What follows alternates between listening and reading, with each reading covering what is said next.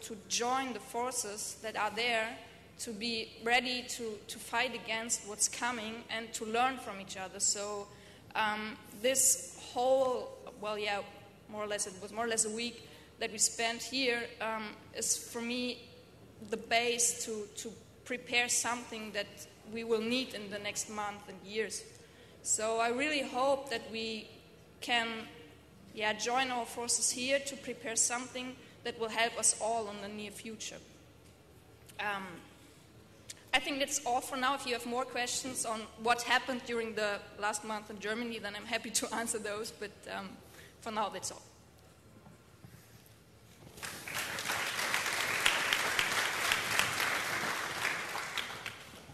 Okay, so I'm going to talk very briefly about the technology perspective on these things. Uh, I originally built the Tor network for anonymity purposes for people in the US and Europe and civil liberties goals. And then I started getting mail from people in China saying, Thanks for the tool, now I can read BBC and we started getting more and more mail from all sorts of people around the world who were using it not so much for the privacy properties, but for the reachability properties. Now I can get to websites that I wasn't able to get to before. So that's sort of how we fell into the blocking resistance side of things. Mostly when I think of censorship, I think of governments censoring their internet and what sort of tools we can work on that can automate the process of letting people get around that. And another piece of that, so once you have an overlay network like Tor, where you can build paths through the network and pop out somewhere, you can actually start researching this censorship. You can say, I want to build a path through the Tor network and come out in China, and I want to see what Google looks like from China. I want to see whether I can reach BBC today. So this actually lets us learn how the firewalls are working and what's being censored at the time. And then I guess the last point is uh, to echo what Rob was saying, it's not so much the technology. A lot of this is really a social problem. There are a lot of people in China right now who are saying, I'm so glad my government filters the internet. I'm so glad my government keeps me safe. And while the majority of the people in these countries are thinking that, I can't build a tool that will solve the problem. We need to change the culture so that they stop thinking that, so that they start wondering what else the internet could look like. And I mean, another example, I was talking to somebody from Thailand three or four years ago, and they sent me mail and said, uh, Torproject.org is not reachable from my country anymore. I thought I lived in a democracy. What the heck is going on? I'm going to sue them. And then a year later, the tanks rolled, and we learned that, in fact, maybe they didn't live in a democracy. So, in that sense, Tor is an early warning system for which countries are going to be having problems down the road. And, and then the other side of that, uh, we were talking to people in Saudi Arabia. If you're in China, you look around at the people around you and you wonder who's going to inform on you, and you try to figure out uh, should I be willing to, to talk to people what's going on? Should I be willing to go to this website? If you're in Saudi Arabia, it isn't that there are informers out there somewhere. It's that your family is going to figure out what you did and which websites you went to, and that you're posting anti government stuff. You're not so much worried about getting thrown in jail. You're worried that your father is going to beat you for not being an ordinary person. So there are a lot of different cultures that we have to think about at the same time. It's not just a technology problem.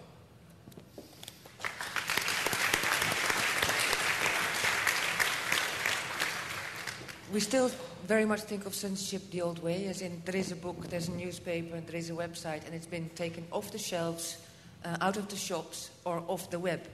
And I think it's really much, it's time that we start thinking of censorship in a new way, something that's there and that we're simply no longer able to see because it's being filtered away. It's being blocked from our view.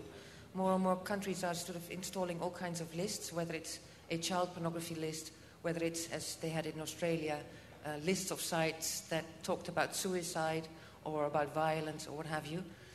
Uh, in many countries, it's not clear which sites exactly are on that list and on what basis. Um, and one of the things that we found out in, in Europe is that sometimes police officers will put sites on the list um, claiming that only countries are being blocked from which there is no, where you have no legal recourse. Um, for instance, child pornography in all these weird uh, Uzbekistan, Kaz- Kazakhstan places. Well, actually, many of the sites that are being blocked are European sites. So what they're censoring is not, apart from child pornography, what they're also censoring is people seeing that European police is not doing its work. And nobody knows. Nobody knows what's going on. And at the same time, everybody has indeed this sort of feeling ah, yeah, but the internet is made nice and safe. There is no child pornography anymore. But the only thing that we're doing is blocking the awareness that it exists. We're also blocking the fact that the police aren't doing anything the moment they can. And nobody has any recourse to see whether that's the only thing that's being filtered. Nobody knows which lists are being fed to providers to block.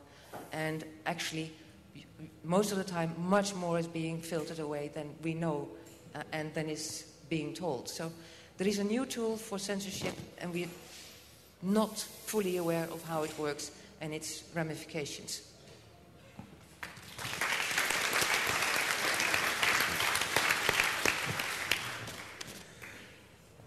You have to imagine in our governments are many, many old men with black pencils. They don't have any idea what internet is. They speak about an information society, and this is important to make a government into information society. And this is a mistake because we don't need and we don't want and we don't have an information society. What we want is a communication society. That means everybody is talking to everybody, not some people, some few people with black pencils speak to everybody else. It's not so one guy can say, do this, and you all have to do what this one guy with the black pencil saying. And they, a little bit they understand that the idea of information society in their heads is not true. They see people are communicating. They see that people come together. They see that people do things and uh, uh, starting politics. And so it's very, very normal that they need censorship. Have I explained it why? You have to say no, no. Thank you. That's the idea.